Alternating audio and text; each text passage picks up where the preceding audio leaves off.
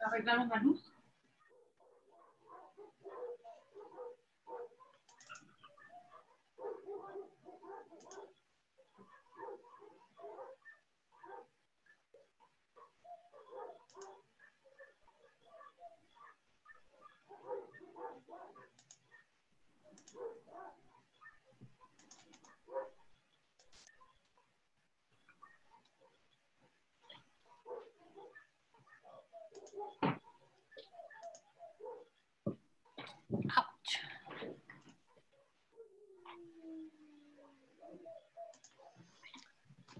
Hola, hola a todos. Veo que ya algunos se están conectando.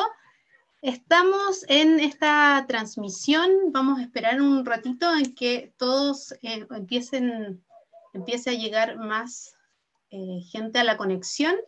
Por mientras les queremos dar las gracias por unirse a esta, a esta transmisión que estamos haciendo con Millarca. Em, en que queremos, quisimos unirnos al, al Día del Patrimonio que podría ser quizás no tan atingente al área de, nuestra, de nuestro instituto, o quizás sí por el tema de los cielos, pero esta vez queremos hablar de, de, otra cosa. Queremos hablar de meteoritos y es por eso que eh, tenemos a Millarca que en Chile ya ah, quizás Millarca me va a contradecir, ahora hay más eh, estudiantes que se, están ahí, se han ido uniendo al estudio de los meteoritos, pero por mucho tiempo Millarca fue la única experta en meteoritos en Chile. Entonces, eh, quisimos eh, unirnos a este Día del Patrimonio para hablar precisamente de estos objetos estelares que están un poco descuidados en nuestro país. Entonces, como les decía, les damos las gracias a quienes se están conectando. Y en pos del tiempo, queremos empezar rápidamente. Eh, les cuento que mi nombre es Macarena Estrella, yo soy la encargada de comunicaciones y divulgación del Instituto Milenio de Astrofísica Más. Y mm, en este Día del Patrimonio, que por primera vez se hace en casa, ya sabemos todo cuáles son las circunstancias en las que estamos actualmente, quisimos unirnos con esta charla Meteoritos Patrimonio de la Humanidad. Como algunos de ustedes sabrán, o como nos va a contar Millarca ahora, Chile tiene una riqueza invaluable en el norte del país. Además de los cielos privilegiados que tenemos, también en el desierto de Atacama hay una gran riqueza en meteoritos. Millarca nos va a contar por qué. Y estos meteoritos se encuentran desprotegidos y muchas veces vienen cazadores de meteoritos a extraerlos sin ninguna regulación. Entonces, Millarca, em, le voy a dar la palabra, primero la voy a presentar. Millarca es geóloga, doctora en geología de la Universidad de Chile, es investigadora adjunta del Instituto Milenio de Astrofísica y además es docente de la Universidad, Universidad Católica del Norte. Entonces, de, luego de su presentación, vamos a poder conversar un poco más con ella y si tienen alguna pregunta, les pido que eh, la dejen al costado en el chat para que al final de su presentación se la podamos hacer y vamos a tratar de responder todas las que podamos en el tiempo que tenemos. Así que les damos la gracia de nuevo a los que nos están saludando, que ya hay varios conectados y empezamos con la charla de, de Millarca.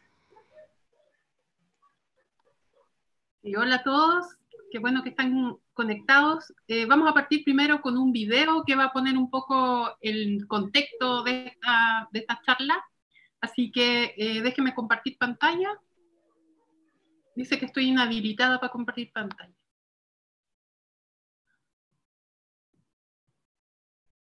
Ahora. Ahora sí. Ahora. Entonces vamos a poner este pequeño video que resume un poco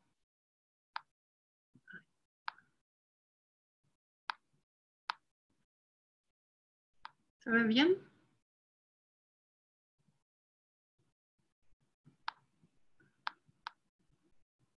No me permite partir.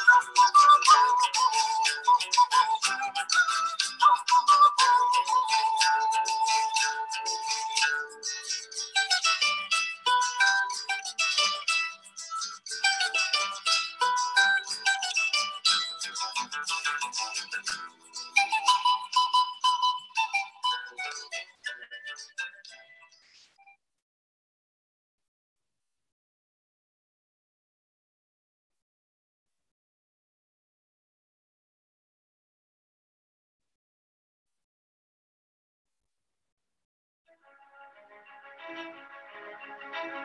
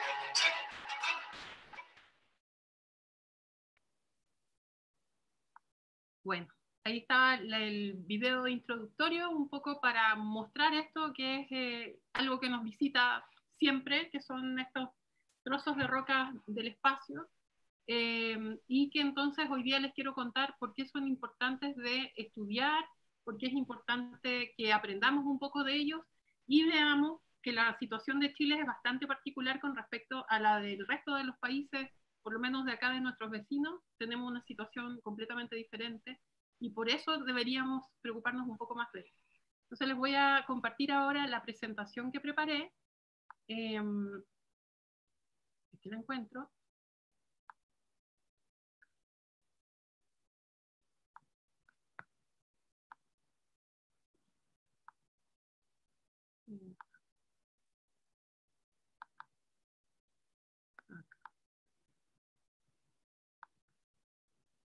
Acá está la presentación.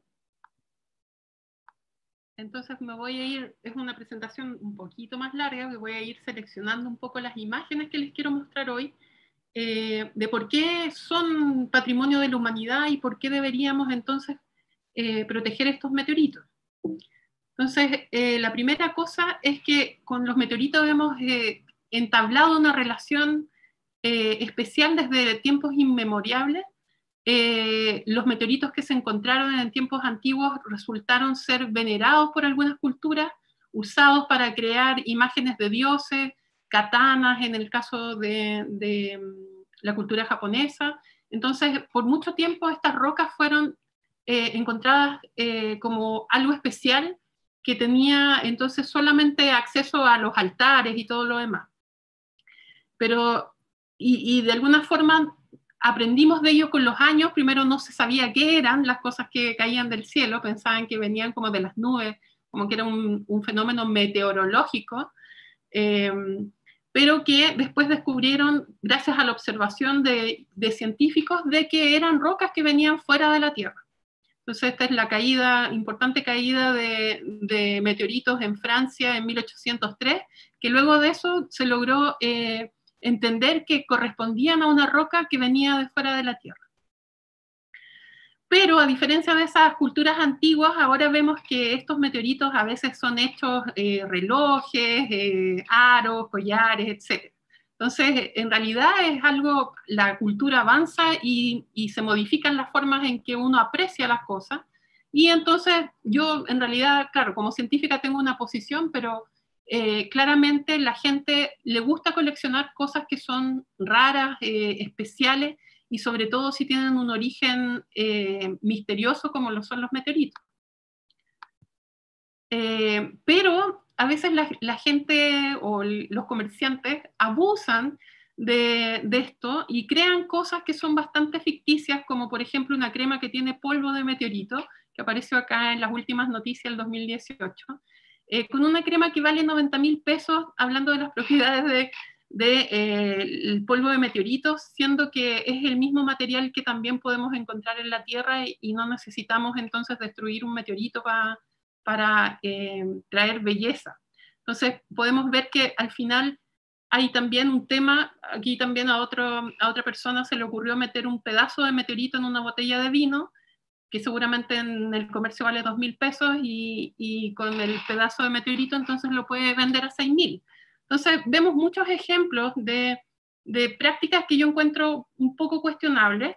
Eh, hay un montón de coleccionistas que eh, están en todo su derecho de coleccionar estas rocas que son súper eh, especiales, pero ahí hay que ver cuál es el límite de, lo que se puede hacer con algo que además tiene tanto valor científico. Entonces, bueno, ese es el, el, vino meteorito. Y bueno, la, la tarea de tratar de, de, hacer visible esta temática, de, de, que al fin estos meteoritos sean considerados como un geopatrimonio, eh, ha, ha, estado por más de 10 años eh, en la agenda de todo, en, en, cada proyecto que he estado, ha sido parte de la agenda de tratar de impulsar una ley de protección. Entonces, con eso hemos estado en la televisión, en, de hecho, con el senador Guido Girardi, se logró hacer una primer, un primer boceto eh, desde el Instituto Milenio de Astrofísica para que ingresara una ley de protección que quedó en nada, que no sabemos bien qué pasó, eh, pero que claramente es algo en lo que tenemos que continuar empujando. Entonces, también una charla en el Congreso del Futuro para poner en valor que la gente en Chile supiera que aparte de tener hermosos cielos, aparte de tener cobre, aparte de todo eso, también éramos un país que sobresalíamos por su riqueza en meteoritos. Eh, y aquí les quería mostrar también algo que ocurrió. Eh, Pero Nunca, nunca se me cae internet en mi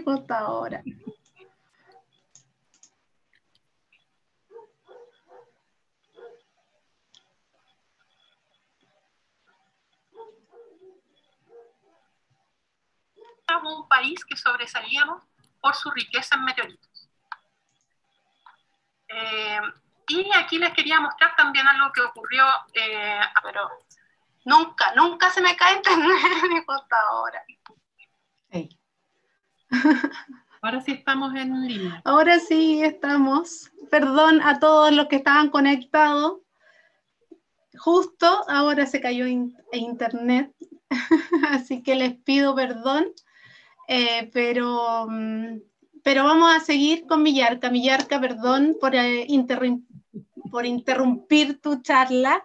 Espero que no te haya cortado el hilo mucho, pero pero vamos a seguir ahora. Digamos ahora que caiga de nuevo. Ah.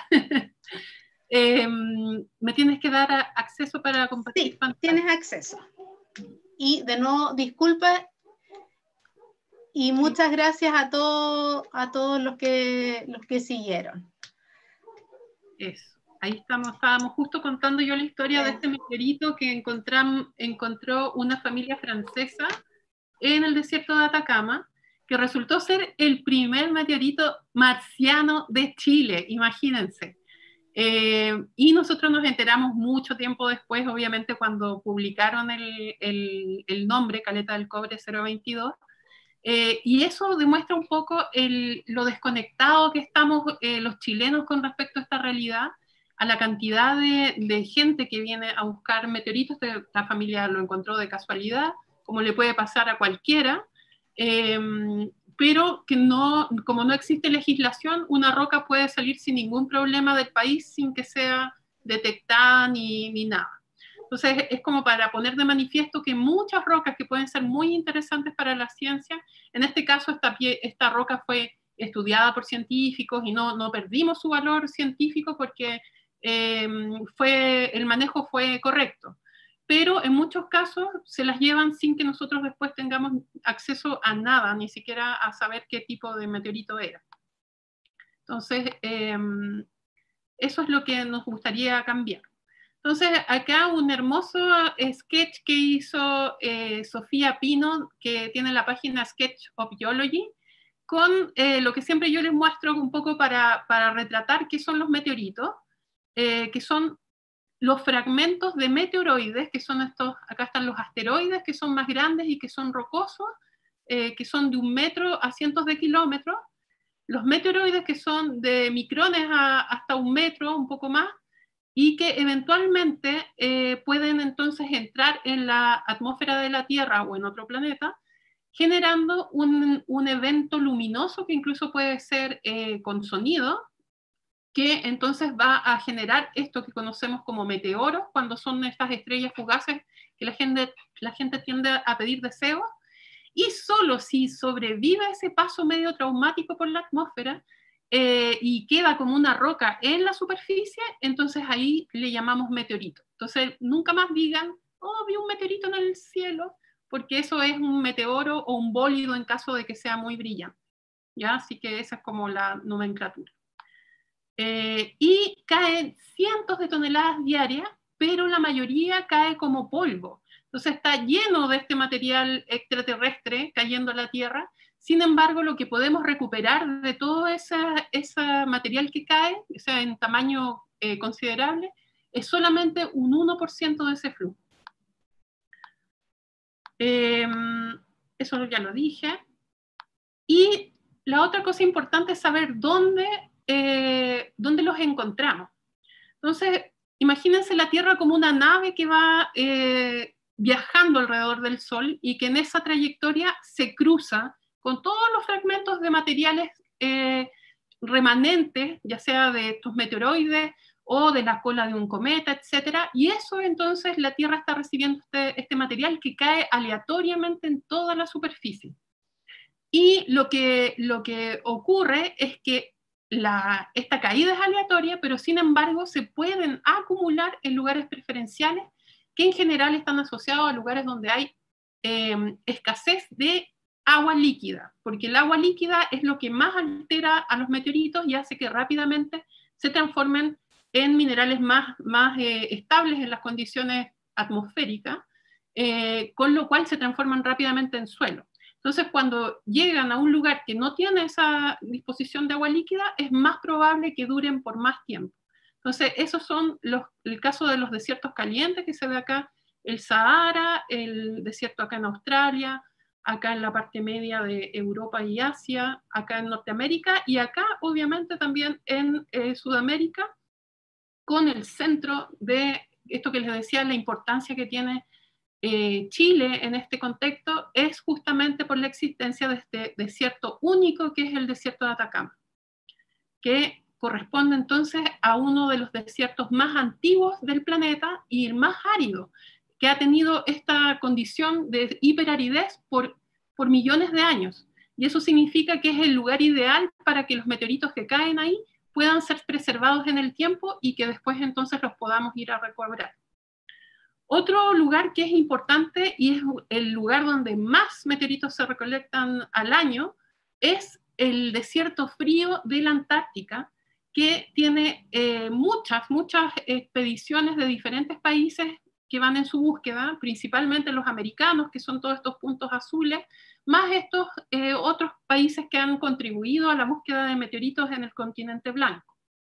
Ahí está una de las últimas bases que tiene Chile en Antártica, que están más o menos cerca del cordón donde se encuentran, que es las montañas transantárticas, pero en general casi todo el territorio eh, de las bases chilenas está en la península, que es todavía muy húmedo para la preservación de meteoritos.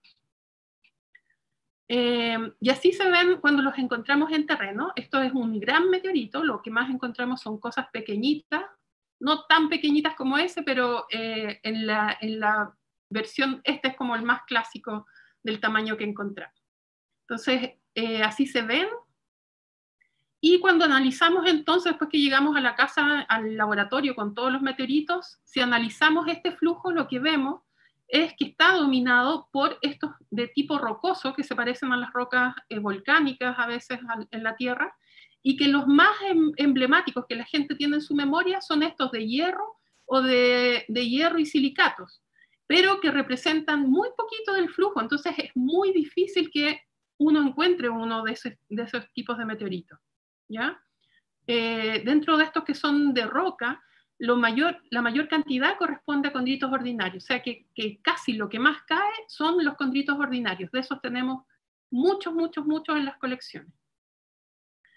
Y lo que podemos entonces ver cuando los cortamos son que tienen estos circulitos que vemos acá, que son los cóndrulos, y que le dan el nombre a la principal clase que son los condritos, y estos materiales blanquitos que son inclusiones calcoalumínicas, que son los materiales más antiguos del sistema solar, son los primeros condensados de, la nebulosa solar, que son, eh, tienen 4.568 millones de años. Cuando los miramos al microscopio vemos casi como una caja de joyas con estas mineralogías compuestas por silicatos de hierro y magnesio, por estas que son estos, estos materiales tan antiguos como los condensados de eh, óxidos de calcio y aluminio. Eh, y vemos entonces una heterogeneidad que nos está hablando del momento inicial de la formación del sistema solar, que finalmente corresponde a los ladrillos de formación de los planetas posteriormente. Los meteoritos principalmente vienen del cinturón de asteroides que está ubicado entre Marte y Júpiter. Entonces, eh, y aquí en una visión en planta podemos ver este gran sector de, material que entonces aporta eh, eh, material hacia el sistema solar interior, pero también eventualmente estos pueden chocar con, con la superficie de Marte o la superficie de la Luna y hacer entonces que ese impacto genere que la corteza de esos planetas salga expulsada porque son planetas con bastante menos gravedad que la Tierra, entonces sale mucho más fácil eh, del campo gravitatorio de Marte o de la Luna, y entonces eventualmente también podemos recibir material de ese tipo de cuerpos en la Tierra. Y ahí, bueno, ahí está el, asteroide Millarca, que esperamos que se mantenga ahí por mucho tiempo y no nos golpee. Eh, bueno, y entonces esta es la fuente principal de lo que estamos viendo y lo que queremos tratar de entender, entonces la relación entre las rocas del, que están todavía como remanentes de la formación del sistema solar en el cinturón de asteroides, con estos meteoritos que son como muestras, es como casi como mandar una misión espacial, eh, pero a un costo mucho más barato que lo que sale mandar una, misión espacial. Entonces es como la gracia de la búsqueda de meteoritos en la Tierra. Y esta es la cantidad enorme de asteroides que se han encontrado en las diferentes campañas. Se alcanzan a ver, adentro están marcados unos en color rojo, que son los que eventualmente cruzan la órbita de la Tierra y por lo tanto ahí están todos los ojos para eh, ver los que potencialmente puedan tener una trayectoria de colisión con la Tierra en algún momento. Y eso es parte de lo que el Día del Asteroide, que es el próximo 30 de junio, trata de recordar que de alguna forma tenemos también un riesgo astrogeológico, como a mí me gusta llamarle, con estos impactos que de, vez en cuando nos ocurren. Entonces, esto es lo que genera eh, grandes cambios en la historia de la Tierra, los eh, eventos catastróficos que pueden ser tanto de origen interno como grandes erupciones volcánicas, como por estos externos que corresponden a cuando nos encontramos con un elemento bastante grande, como fue, por ejemplo, em, eh, lo que pasó en Yucatán. Pero más recientemente, en febrero del 2013, vimos eh, este asteroide Chelyabinsk que eh, cruzó el cielo en Rusia estalló y generó una onda de choque que rompió los vidrios y hizo caer también todos los, eh, algunos techos, la gente quedó herida. Y eso nos hizo acordarnos de que existe este, este eh, peligro. Aquí hay una imagen de esto que es recordado por muchos seguramente, que tiene que ver con lo que eh, por muchos años fue un debate abierto sobre el origen de la, de, la, de la gran extinción que ocurrió en el Cretácico terciario, que eh, después de muchos estudios eh, resultó que gran parte de, eso se, debía a un gran impacto que ocurrió con un asteroide que era de más de 10 kilómetros de diámetro. Entonces, eso generó un, un gran evento a nivel global que destruyó 75% de la biomasa, incluidos los dinosaurios entre ellos. Este es el mapa de los cráteres de impacto en la Tierra y si ven acá hay uno chiquitito cerca ahí entre Chile y Argentina que corresponde al cráter Monturaki, que es el único eh, cráter de impacto, eh, de impacto de explosión en Chile. Hay otros que son más chiquititos que se mostraron en el video, asociados a otros meteoritos, eh, pero esto es como una cancha de fútbol, tiene 600.000 años y está dentro del área de la comunidad atacameña de Peine. Entonces ese es un lugar que lamentablemente mucha gente entra al cráter y, por ejemplo, entran con estos autos, eh, también como mostraba el video, entran y sacan, han sacado, han expoliado todo lo que había de impactitas y de restos de eh, meteoritos de forma como Iron Chile. Entonces hemos tratado nosotros de declararlo patrimonio de, histórico, eh, pero hasta el momento no ha sido posible. Entonces aquí está eh, donde hemos celebrado varios de los días del asteroide junto con la comunidad de Peine, ahí haciendo un pago a la Tierra y explicando la importancia de preservar lugares como este, que, cuentan una, una, parte de la historia de la Tierra que es muy importante. Bueno, y gran de la información que podemos extraer del sistema solar, como les decía, es entender la historia de cómo se formaron los planetas, de cómo, eh, por ejemplo, la, eh, se diferenciaron en estos cortezas, mantos, núcleos, em, y además que permiten entender entonces, son una pieza importante para entender otros elementos de la formación planetaria, como el hecho de que nuestro sistema solar se ubica así con planetas densos y, y, rocosos hacia el centro, más cerca del Sol, y gaseosos hacia afuera, que, era, que pensábamos que en todas partes iba a ser así, Después del descubrimiento de nuevos exoplanetas, nos dimos cuenta que algo faltaba en la ecuación para entender la formación planetaria y que justamente los meteoritos condríticos tenían esa clave que era tener materiales de alta temperatura, como los cóndrulos, viviendo en matrices de baja temperatura.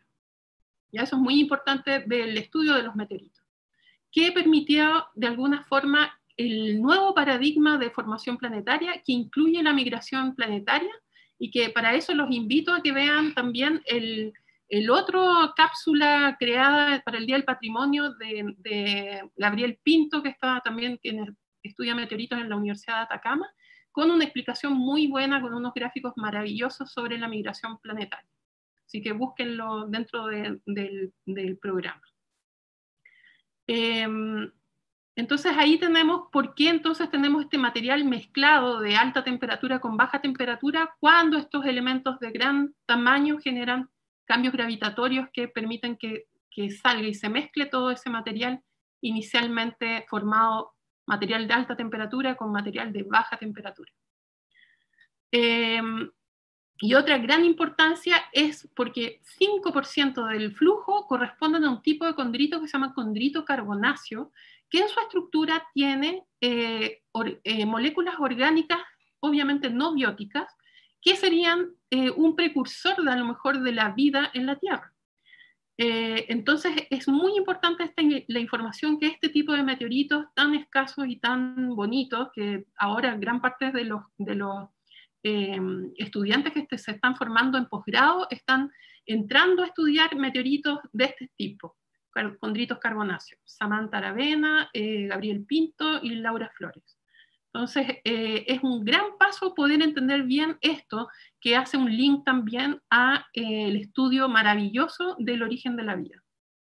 Entonces, ahí están la tierra primigenia con estas colonias de bacterias, que son nuestros abuelitos evolutivos, y mostrarles también que los meteoritos en Chile partieron en 1845 aparecen ya las primeras descripciones del meteorito vaca muerta eh, en un libro escrito por Ignacio Domeico, y luego el libro eh, Viaje al desierto de Atacama, que también se describe la palacita Imilac, que son meteoritos emblemáticos de nuestra Tierra. Eh, y esta es una foto de alguien que redescubrió una masa del Imilac y que la trozaron, la sacaron de Chile y la vendieron en los mercados como nuevo, nuevo descubrimiento de Imilac. Eh, y eso eh, ha sido un problema porque es lo que justamente en la ley tratábamos de proteger, porque además de ser un patrimonio natural, es un patrimonio histórico. Eh, otras colecciones tienen muestras de meteoritos, pero nunca ha habido un, curador. Entonces, algunas de estas se han, sido robadas o han sido, se han, deteriorado por mal manejo de la colección. Eh, una de las principales colecciones y bien tenida es la del Museo del Meteorito, que es una colección privada que está en San Pedro de Atacama, que es eh, un, grupo liderado por hermanos, los hermanos Martínez, que han hecho un gran trabajo de preservación, de documentación, etcétera. Ambos tienen formación científica y la idea es que todas las iniciativas que, se creen con respecto a los meteoritos, ahora que están tan en boga y en la mirada de muchos, tengan ese como estándar de, buenas prácticas como para que estos sean preservados y además estimulen la eh, investigación científica, que es justamente lo que hace el Museo del Meteorito es parte del que patrocina muchas de las investigaciones con sus eh, muestrarios y colecciones. Estos son los lugares de búsqueda que hemos partido. Aquí estudió Gabriel Pinto su, memoria y esto fue parte de mi doctorado. Eh, y, pero quedan muchos lugares que explorar, hay mucha gente que está viniendo a otros nuevos sectores, entonces cada día aparecen nuevos eh, meteoritos oficiales de estas expediciones que no son controladas y que no tenemos cómo saber eh, qué es lo que encuentran hasta que lo publican. Eso ha sido una de las expediciones más grandes del 2017, con mucha gente, eh, los estudiantes, algunas de las estudiantes que están estudiando para ser expertas en planetología y meteorítica, y también acá con otra de mis estudiantes en la preparación de muestras, cómo entonces obtenemos el paso uno, que es la clasificación de los meteoritos. Ahí se ven cómo se ven en, el microscopio. Y eh, esto de estimular que estén en colecciones, que estén bien preservados, que de alguna forma somos muy importantes eh, como proveedores de este material por tener el desierto de Atacama, eh, que eso es único.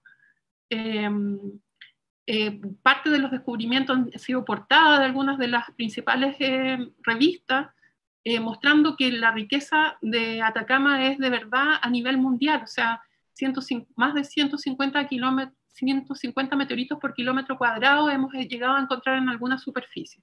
Entonces, es muy importante, no es, no es cualquier lugar, es un lugar de alta densidad y por lo tanto no nos puede ser indiferente el destino de los meteoritos. Eh, bueno, esas son unas fotos de, algunos de los meteoritos que hemos encontrado, de los que estudiamos, eh, con eso se hace ciencia. Y entonces el, paso siguiente es poder protegerlos.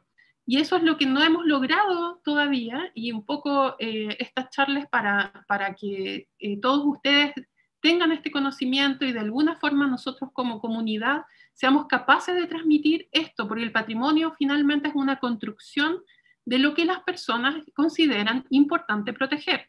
Pero si alguien no conoce lo que tiene, es difícil que lo quiera y es difícil que lo quiera proteger. Entonces, eh, eso es una labor que yo creo que parte conmigo ahora dando una charla, pero que también es, parte de lo que ustedes puedan sentir con respecto a su propio territorio. Eh, ya para finalizar, eh, estos son como con respecto a esto de que en general en Chile la gente cree que lo único protegible tiene que ver con la biodiversidad.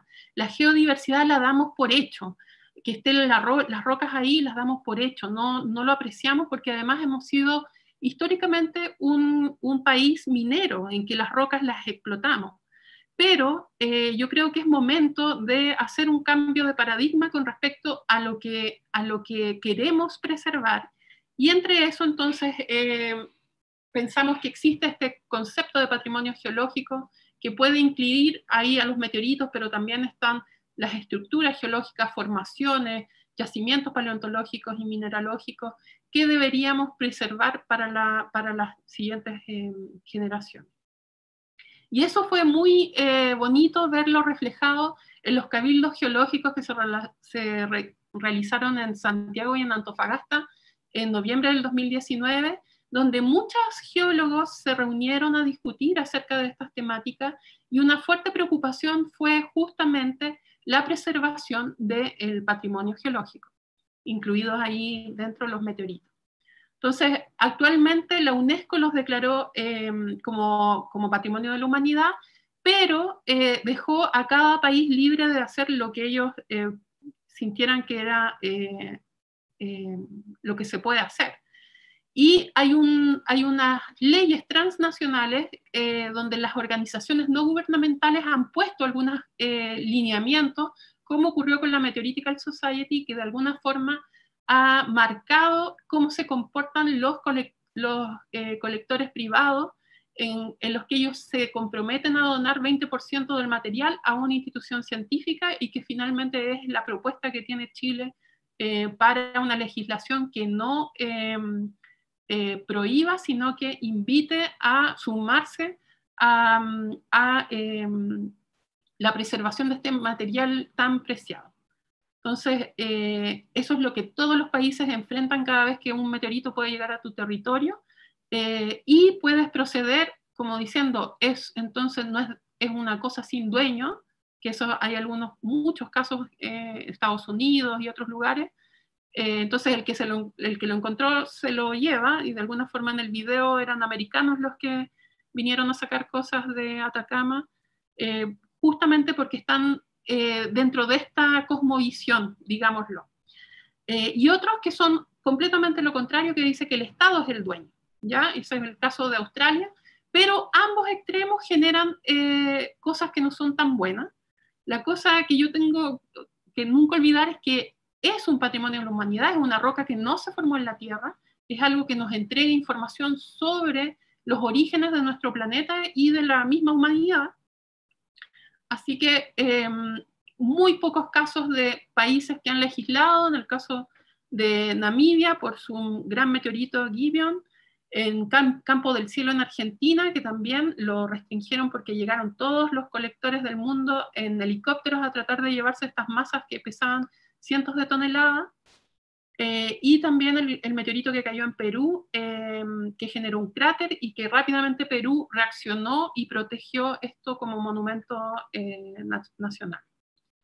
Entonces, eh, mis últimas palabras son para decir que esto, los extremos yo creo que no son buenos, tanto venir y prohibir cualquier búsqueda lo que genera es mercado negro, eh, y el otro extremo, que es libre de que todo el mundo venga saque los meteoritos, yo creo que tampoco es una muy buena práctica. Entonces, lo que creemos es que tenemos que encontrar una forma de em, protegerlos, de que el 20%, como, como define la Meteoritical Society, pueda entrar en, en, em, en eh, las colecciones nacionales para incentivar la educación y la investigación, que eso es algo que siempre se agradece dado que somos un país chiquitito, que nos cuesta harto eh, prosperar en ciencia, yo creo que es muy importante que esa legislación permita que más eh, universidades, que actualmente no, no es solamente eh, la Universidad Católica del Norte, también es la Universidad de Atacama, la Universidad de Chile, la Universidad de Concepción y la Universidad Austral, que están llevando investigaciones de meteoritos con sus profes y estudiantes.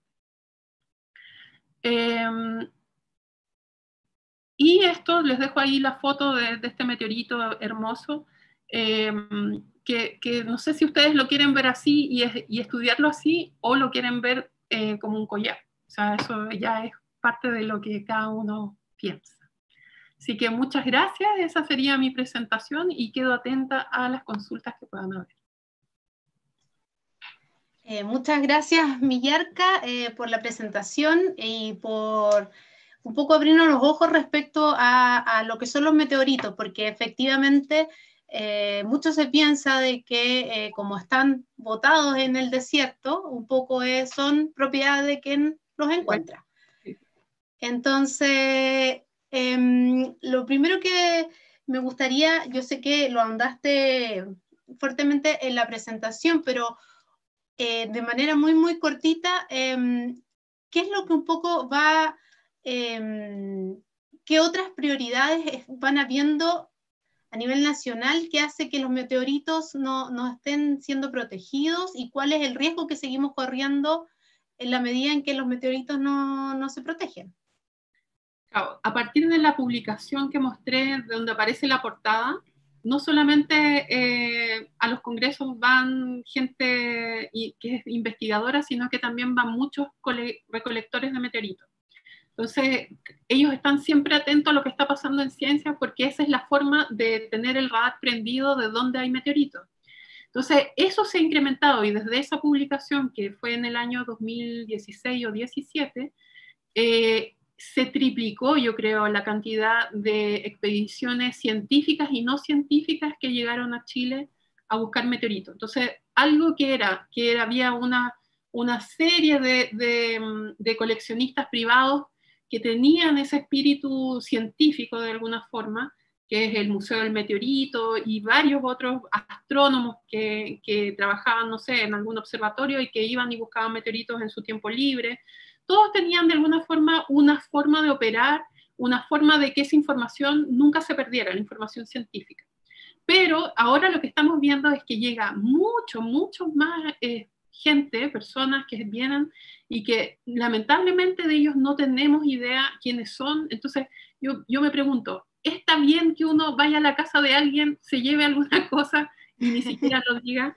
Esa, como que es, esa es un poco la sensación. Yo pienso que eh, con las rocas es difícil en un país minero como Chile, en un país en que su economía se basa en las rocas, es difícil cambiar el, el, tipo de pensamiento a sentir que las rocas son un medio utilitario de alguna forma de explotación para cosas, para otras cosas. Y eso es el cambio de paradigma que yo creo que es muy importante que ocurra y que lo siento que está ocurriendo. O sea, el último Congreso Geológico Chileno en Concepción en 2018, la, la sesión que tuvo más participantes y más trabajo fue la de geopatrimonio. Y eso muestra que las nuevas generaciones están mucho más eh, sensibles a esto que tiene que ver con el patrimonio geológico. ¿Y qué valor, ya nos hablaste largamente del valor científico que tiene un meteorito, pero ¿qué otro valor, aparte de tener una roca, que mm, aparte de las características de peso que tú nos explicaste también, que podría tener los minerales y todo, es una piedra, en definitiva. ¿Qué otro valor podría tener, eh, crees tú, para los coleccionistas? Hacerlo, eh, bueno, el que tú nos mostraste ahí al final es realmente muy, muy precioso, pero muchos que hemos visto contigo son eh, piedras que tienen un valor científico muy importante, pero para los coleccionistas, ¿qué crees tú? ¿Cuál, cuál es el valor que ellos le dan a, la, a los meteoritos para querer llevárselo a la casa, en definitiva? no hacen más que eso. Yo creo que muchos es lo mismo que cualquier, cualquier persona que colecciona algo. en general, los coleccionistas van por las cosas que son raras, que tienen un origen eh, diferente, eh, para poder venderlas en mercados de, de, coleccionistas. O sea, hay un mercado enorme porque el, ser humano tiene esta necesidad de coleccionar objetos eh, bellos, raros, etc así como los diamantes, como ciertos tipos de minerales, y se hacen estas ferias gigantes. Entonces también les recomiendo la serie chilena Tráfico Ilícito, donde hay un capítulo de meteoritos que justamente con bastante eh, amplitud de mirada muestra todo el abanico que tiene la problemática de los meteoritos y entrevista a, mm, coleccionistas privados, entrevistas científicos, etc. Entonces, para hacerse de verdad una idea a uno y, y sentir qué es lo que a uno Eh, le llama, porque el tema de que sean algo extraño va siempre a generar eh, las ganas de coleccionarlo y obviamente las cosas más raras son las que se vendan a mejor precio. Entonces, eh, existe todo un mercado asociado a los meteoritos justamente por su valor. hay meteoritos que se transan el gramo en mil euros, por ejemplo, el gramo, mientras que otros, como los condritos ordinarios, que les decían que les contaba que era como lo que más encontrábamos, te venden como un kilo por 100 euros. Entonces, claro, lo que es más común no tiene tanto valor como lo que es muy raro, como un meteorito marciano, un meteorito lunar o, alguna palacita como estas, estas que son muy bonitas y que generalmente las transforman en joyas. Y mm, antes de pasar a las preguntas, que tenemos varias, varias, em, te quería preguntar, em, a través del MAS, bueno, tú lo, comenzaste antes, pero también se ha gestado eh, ahora por los últimos años a través del MAS el proyecto Chacana. Entonces me gustaría que, y de hecho hay una pregunta también que tiene que ver con eso, entonces me gustaría que nos contaras un poco de qué se trata eh, este proyecto. Ya. Bueno, la investigación que eh, yo realizo junto a mis colegas franceses y otro grupo está asociado al estudio del flujo de material extraterrestre en la Tierra, que una de las formas de estudiarlo es mirando eh, los, los meteoritos que han caído en el tiempo. Entonces, la ventana del desierto de Atacama es una ventana que, retrata el flujo desde ayer, de lo que cayó ayer, hasta casi dos millones de años, que eso es, casi único en el planeta eh, para un desierto caliente. En general, en los demás desiertos calientes se, trabaja con meteoritos que se desaparecen de la población a los 50.000 años. Pero hay un flujo que está ocurriendo ahora, que son estos bólidos que vemos, que a veces aparecen en las noticias, que hablan entonces del flujo actual de meteoroides que recibe la Tierra. Y eso, la única forma de detectarlos es, eh, bueno, cuando la gente viene y toma una foto y la sube a Twitter, si es que no mintieran, estaríamos todo bien, pero muchos suben cosas que son de otro lado. Entonces nos da mucho trabajo. No hagan eso. ¿ah? Sean reales. Entonces, lo que nos gustaría a nosotros es poder tener una red de cámaras que estén observando siempre el cielo para que no dependamos del testimonio que no sabemos bien. Eh, el testimonio humano generalmente cuesta mucho llegar a lo que realmente vieron porque las interpretaciones entran en su cerebro antes de que cualquier cosa.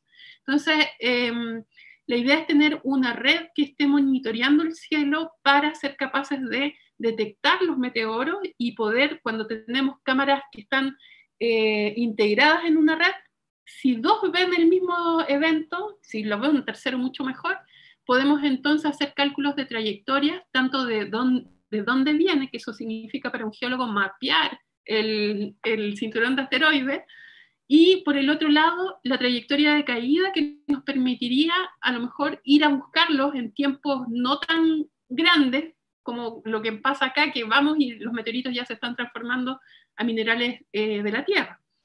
Entonces, con eso tendríamos mucha información de material fresco que viene de los asteroides, casi como mandar una sonda e ir a, a, pegarle un martillazo al asteroide. Entonces, eso va a cambiar mucho el tipo de ciencia que vamos a poder hacer en el futuro.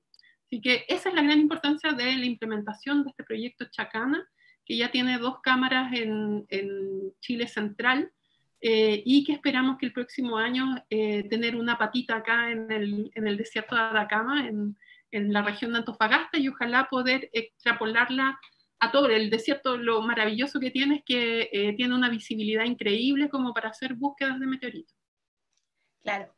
Y pasando más a como lo más básico, Em, y tú nos hablabas del Día del Asteroide que vamos a celebrar el próximo 30 de junio, así que estén atentos también porque les vamos a estar avisando de todas las actividades que vamos a hacer con varias instituciones y también, por supuesto, con Millarca. Ariel Meyer nos preguntaba si existe la posibilidad de que caiga un asteroide en la Tierra y si podríamos saberlo con anticipación, como un poco para, para prepararnos. Eh, hay un rango de tamaño que creo que está del orden entre los 100 metros y 150 metros. O sea, si en la roca es más grande de 100 metros, un, uno de los observatorios que está todo el rato, hay, un, hay una red de observatorios que están todo el rato mirando el cielo, buscando estos nuevos asteroides que les mostré yo en la, en la representación de, las, las, de todas las misiones que se han hecho para detectar eso y poner todos los parámetros eh, orbitales como para saber exactamente dónde están en cada momento. Entonces, eh, tenemos un, un, un, rango que es ciego, que no podemos ver, que es cuando nosotros no sé, nos ponemos los binoculares y se para una mosca, no la vemos porque está demasiado, es demasiado chica para el campo. Entonces, lo mismo pasa con, los, con ese tipo de observatorios y lamentablemente en el rango bajo ese, ese eh, diámetro, no lo vamos a ver hasta que esté muy cerca. Entonces va a generar daño local, pero en lo que está la ciencia metida es en conocer los grandes, como el, que les mostré, el de 15 kilómetros, que al final destruyó 75% de eh, la, biomasa. A eso sí están súper em, enfocados los programas de detección, para por lo menos con 50 años tener algún plan que ya sea, eh, no bueno, hay algunos que quieren deflectar los asteroides, eh, o si no, no sé, cambiar a toda, la, a toda la gente para otro continente, no sé, ahí... Eh, que más o menos se podría proyectar dónde va a caer. Sí, sí, pero por ejemplo, si cae en el mar, por ejemplo, va a generar un gran tsunami en todo, entonces a lo mejor la medida va a ser que todas las ciudades costeras se muevan hacia algún lado, pero la idea es estar preparado como una alerta eh, con respecto a cosas que no vamos a poder detener. Y también nos han preguntado por el chat, me parece que tú nombraste, en algún momento lo has nombrado más de una vez, sobre un meteorito marciano. ¿Cómo sabes que, eh, por qué le llamas un meteorito marciano? En general, los meteoritos marcianos no, supimos de ellos hasta que mandamos una sonda a Marte que tomó datos químicos en la atmósfera y después tuvimos esos datos como para saber cuál era la impronta química de esa, de esa atmósfera y de ese lugar. Una vez que tuvimos eso y cuando las, las técnicas empezaron a mejorar para hacer análisis químico, fuimos capaces de hacerle análisis químico a todos los meteoritos que estaban en colecciones que se habían encontrado largamente en, en Antártica y en otros lugares. Y ahí recién pudimos ver que un grupo que estaba clasificado como acondritos, que eran eh, meteoritos que vienen de alguna superficie más evolucionada, de asteroides evolucionados, eh, todos, eh, algunos de ellos caían exactamente con la química que se había medido en Marte y esa fue la forma de llegar a concluir que algo es marciano. Entonces, cada vez que vemos una roca que se parece mucho a una roca terrestre, pero con una superficie negra, si se dieron cuenta, el meteorito marciano era verde, pero tenía una superficie negra, que eso solo ocurre porque es una roca que voló por el aire, que generó fricción y ablación al pasar por esa fricción de pasar por la atmósfera generó que se fundiera menos de un milímetro de su, de su capa más externa. Entonces, eso es único en una roca, o sea, ninguna otra roca terrestre, a no ser que sea una roca volcánica como esta eh, bomba, eh, va a generar estas cortezas. Pero además es una corteza de muy alta temperatura, entonces eh, eso es parte de lo que el ojo entrenado busca y ve, y al final dice, bueno, esto no es un condrito, claramente, eh, entonces pide esos análisis químicos que van a dar entonces la certeza de que viene de alguna otra atmósfera, de algún otro planeta. Perfecto. También Rodrigo Romero nos preguntó hace un ratito, vamos, estamos leyendo como de las, más, de las preguntas de, antes hacia ahora, nos preguntó hace un ratito si hay pistas del cráter de impacto que produjo las Atacamaites. Atacamaitas, sí.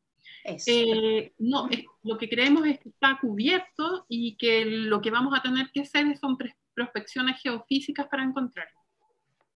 eso se viene en el futuro. Y el mismo Rodrigo también nos dice que, a ver si tú nos puedes corroborar esto, que eh, cerca del cráter Monturaki hay, aparece en Google Earth otro cráter de impacto, si sabes algo de eso los que nos, los mandan todos los años, uno pero que está más cercano al, al, a la cadena de montañas del plato andino. Eh, y es, o sea, por lo menos el que siempre nos llega como posible cráter de impacto es un cráter volcánico. Entonces, a no ser que él tenga otra información, eso lo puede mandar al correo meteoritochile.gmail.com y mandar eh, la foto de lo que él está viendo, porque al tiro le puedo decir si es que es lo mismo que siempre nos llega o si es algo nuevo. Perfecto. Eso también es un buen dato, que cuando tengan alguna información que pueda ser relevante, también eh, te lo pueden hacer llegar a ti y a tu grupo al mail meteoritoschile, arroba meteoritos, no, arroba gmail.com. Sí, y en Facebook también, que es el, el grupo Meteoritos, Meteoritos y Ciencias Planetarias de la Sociedad Geológica, que ahí estamos posteando siempre las charlas o las actividades que se hacen. Entonces también que nos sigan en esa página porque en general esa la vamos actualizando con información relevante a estas temáticas y a ciencias planetarias. Perfecto. Eh, estoy mirando acá al lado, a ver que no se me queda eh, alguna pregunta de atrás. Eh, preguntan que, qué pasó con los meteoritos que se fueron a Francia. Si no han regresado a Chile. No, eso es, o sea, lo que se necesita y era parte de la ley que estábamos, redactamos en ese momento, era que se creara el repositorio nacional chileno, porque de esa forma podemos mantener eh, cierto porcentaje de las rocas acá. Eh, y mientras tanto, las rocas tienen que ser preservadas en un lugar que tenga las condiciones como para eh, mantener, o sea, mantenerlos con, con condiciones que no eh, hagan que se vayan deteriorando. Entonces, en general, justamente porque no hay legislación, cada expedición científica viene con sus propias agendas eh, y eh, se llevan los meteoritos y los especímenes tipos quedan dentro de repositorios que pueden ser del país mismo o un repositorio especial. Eh, hay, hay, varios repositorios internacionales, hay actos americanos, hay actos europeos. Y nosotros a lo que queremos llegar es a ser capaces, Chile, de mantener repositorios, no solamente el primero fue creado en Cernagio-Min, también en el AYUC generamos uno chiquitito, pero siendo yo la única investigadora es muy poco lo que puedo hacer realmente si es que esta comunidad no crece y empieza a abarcar más, más eh, espacio.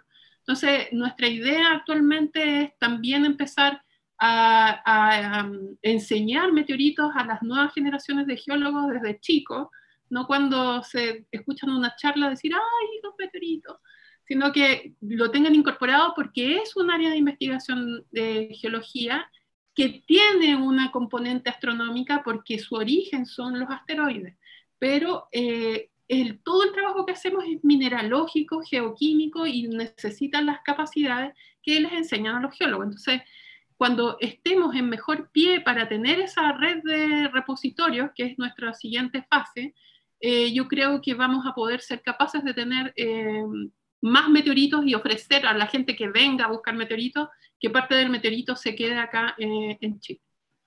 Claro, porque ese es un, un, punto importante también que tú me explicabas cuando estuvimos conversando esto, que ustedes no necesitan el meteorito completo para poder estudiarlo, sino que si encuentran un meteorito, parte, eh, necesitan una parte de él para poder ser estudiado, entonces un poco se lo pueden dividir y, esa expedición internacional se puede llevar parte de, lo que encontró y parte se puede quedar en Chile. Claro, porque igual hay un costo económico de las expediciones científicas eh, que no es menor. O sea, si es que, por ejemplo, el gobierno de Chile dijera, no, queremos que los meteoritos sean nacionalizados y sean de acá, que fue un poco lo que pasó en Australia, eh, ¿tiene el gobierno plata como para que vayamos todos los años a buscar meteoritos?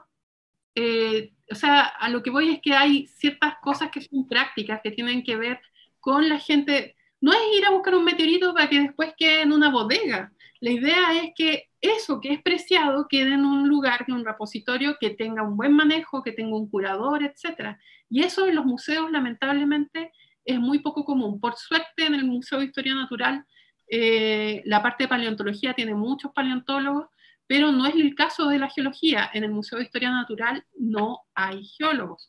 Entonces, ¿quién puede cuidar esas colecciones? Entonces, es algo que uno puede tener toda la buena intención de, querer que se queden acá, pero la realidad del país es bastante diferente.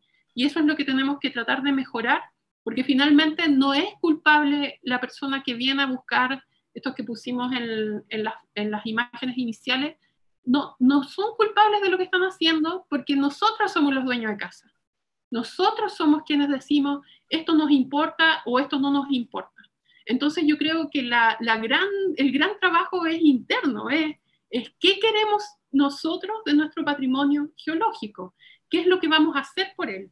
Entonces, y ahí recién pararse y decirle a la gente, oiga, usted viene como Pedro por su casa a llevarse eh, algo que tiene gran valor para nosotros. Entonces, yo creo que esa es un poco la invitación a que reflexionemos internamente qué es lo que nosotros quisiéramos proteger en nuestro territorio. Y también con eso se va a desarrollar eh, todo lo que viene asociado, como tú nos contabas, que ahora no hay donde estudiarlos, quizás no hay un repositorio, como tú dices, porque ¿qué pasa ahora eh, con los meteoritos que, que se van encontrando, por ejemplo?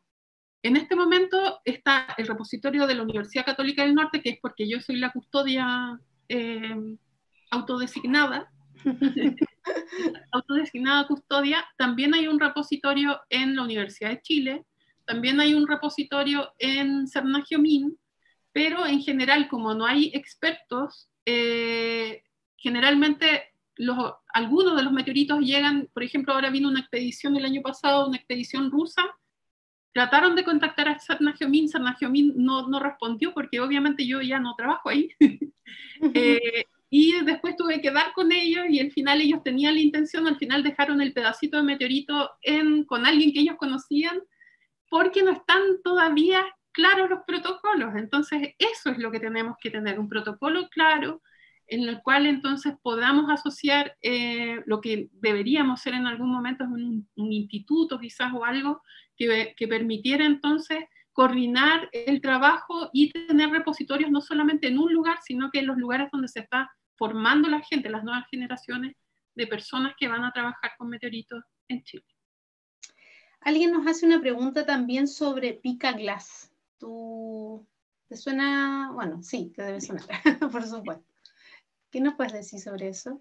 Eso es un tema que quedó un poco, eh, o sea, son vidrios que se encontraron cerca de Pica, eh, que fueron inicialmente eh, asociados a un impacto, que luego nosotros los investigamos con mis colegas franceses, hicimos varios hicimos un terreno y hicimos análisis y encontramos que tenían edades diferentes, o sea que hay seis yacimientos eh, de vidrio en 70 kilómetros y se separan dos grupos con edades diferentes, con lo cual es muy difícil explicar que justo en el mismo lugar se hayan generado dos eh, explosiones meteoríticas.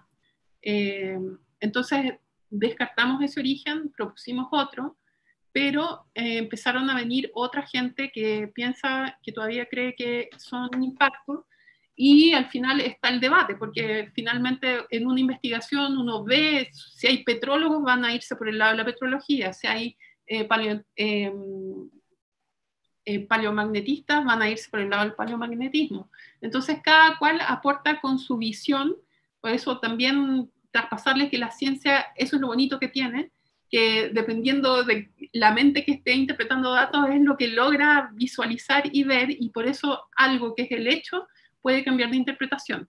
Entonces, la idea es seguir investigando esos vidrios para tratar de eh, dilucidar su forma de cómo se originó y si efectivamente tiene un origen meteorítico. Súper.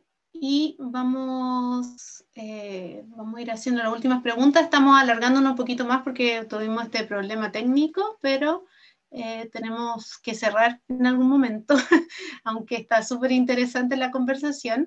Pero mira, hay una pregunta y hay dos preguntas. Primero, la primera es eh, si es que es posible que un meteorito traiga algún virus.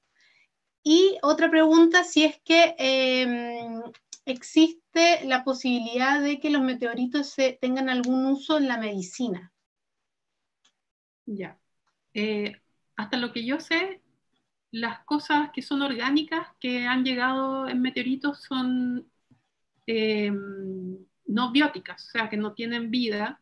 Eh, imagínate las radiaciones que hay en el espacio. O sea, la Tierra, por lo menos, nosotros somos, o sea, el hecho de que estemos nosotros acá conversando tiene mucho que ver con, con, algo maravilloso que tiene la Tierra, que es un campo magnético que lo protege.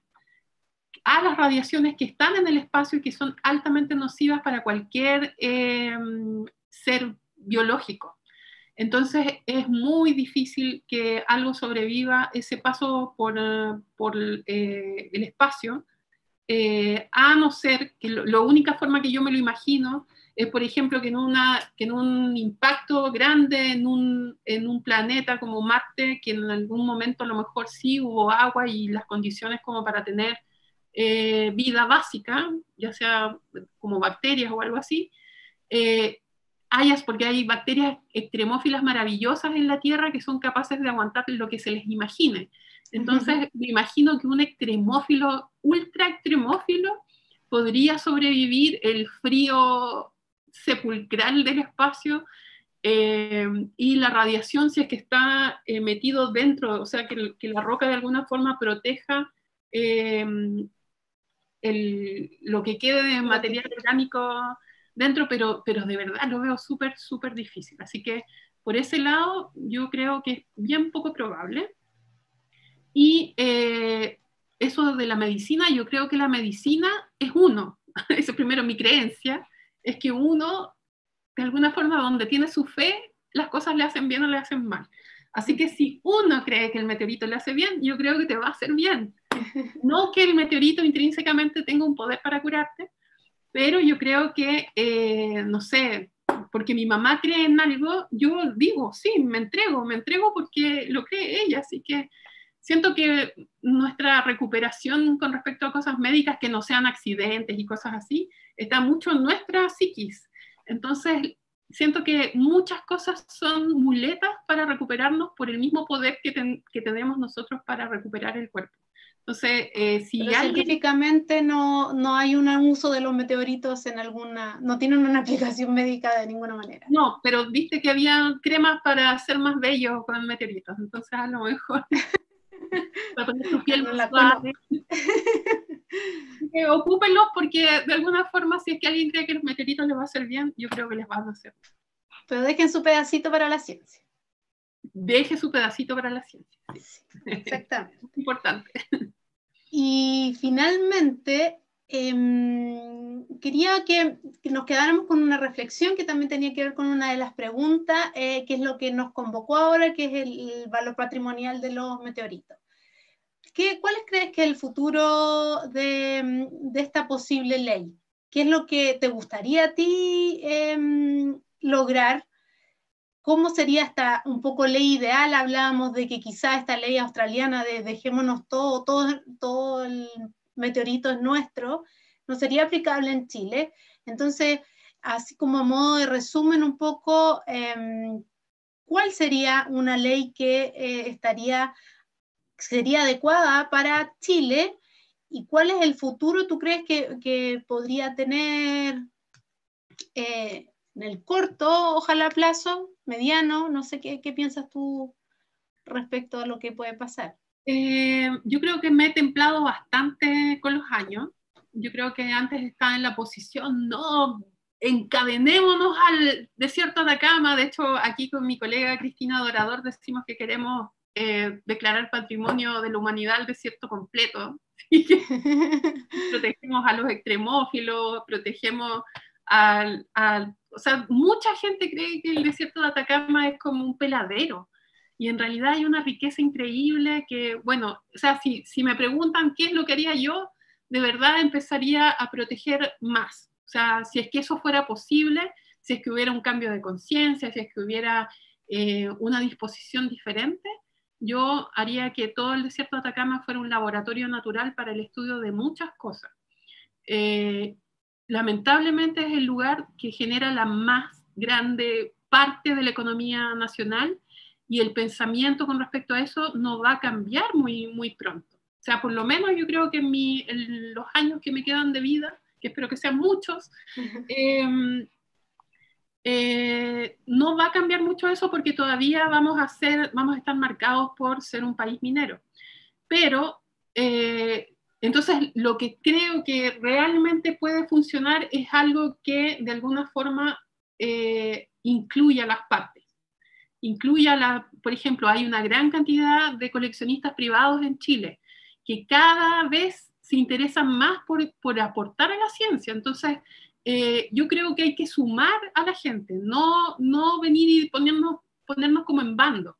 Entonces, la idea sería crear una, como una comunidad eh, nacional asociada, los investigadores, los coleccionistas privados, eh, y de alguna forma también involucrar a la ciudadanía.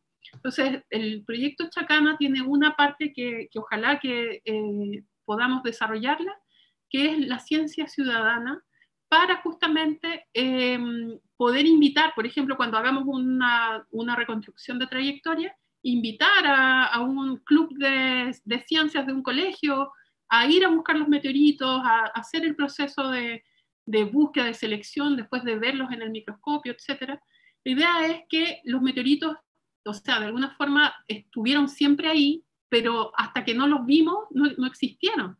Entonces, ahora que los vemos y ahora que los ve todo el mundo, es el momento en que nosotros deberíamos tomar cartas en el asunto. Y eh, ojalá que algún diputado, algún, algún senador esté viendo. Y si no se lo mandamos. Lo vamos a mandar, sí. Porque es algo, y de hecho mi venida a Antofagasta cumple un poquito esa, esa agenda que tiene que ver con posicionar el tema a nivel regional eh, por suerte está Gabriel Pinto en Atacama, que es el, el, extremo sur del Salar de Atacama, que también tiene un gran potencial. Y yo creo que de a poco vamos a ir cimentando esto, pero requiere tiempo y paciencia. Sí. Bueno, con esa reflexión de tiempo y paciencia, que ojalá no sea tanto tiempo ni tanta paciencia. Y conciencia. Y harta conciencia. No mucho tiempo, no mucha paciencia, pero harta conciencia. Eh, nos despedimos. Les pedimos disculpas de nuevo por el lapsus que tuvimos con este problema técnico, pero espero que de todas formas lo hayan disfrutado. Eh, yo particularmente te agradezco mucho, Millarca, porque fue una conversación súper enriquecedora, aprendimos mucho. Siempre que conversamos contigo aprendemos mucho. Gracias. Y eh, aprovecho para dejarlos invitados a todos los que les interesa este tema, que el 30 de junio el 29 y el 30 de junio, aunque el 30 es el día oficial, pero vamos a estar celebrando el 29 y el 30 acá en Chile con varias instituciones el Día del Asteroide, que es una celebración internacional. Así que mmm, los dejo invitados para que estén pendientes de nuestras redes sociales donde vamos a estar eh, dando la lista de todas estas actividades que vamos a realizar, que por supuesto eh, van a tener a Millarca incluida. Así que Millarca, muchas gracias de nuevo. Y muchas gracias también por este espacio. Eh, y a todos los que se conectaron. Súper importante para pa divulgar sobre esta temática. Así que muchas gracias a todos y que tengan un buen fin de semana. No se pierdan las demás charlas que van a ver por el Día del Patrimonio. Sí, otras charlas también tú nos decías como mm, relacionadas con el patrimonio. Sí, ya eh, fue. El día la mañana fue el de meteoritos de Atacama eh, y quedó, yo creo, en la página del organizador que es el Turismo Licanantay de Atacama, pero si se meten a la página Día del Patrimonio en casa, eh, está la programación, entonces si ponen la palabra meteorito, ah no, creo que si ponen meteorito aparece, aparece solamente esta charla, pero está dentro de Atacama. Entonces también ahí hay, y tienen unos videos muy, muy didácticos, así que sería genial que complementaran esto con esa cápsula de meteoritos de Atacama. Para que sigamos aprendiendo. Eso. Muchas gracias, Miguel. Nos vemos. Chao y gracias Chao. a todos por conectarse. Chao.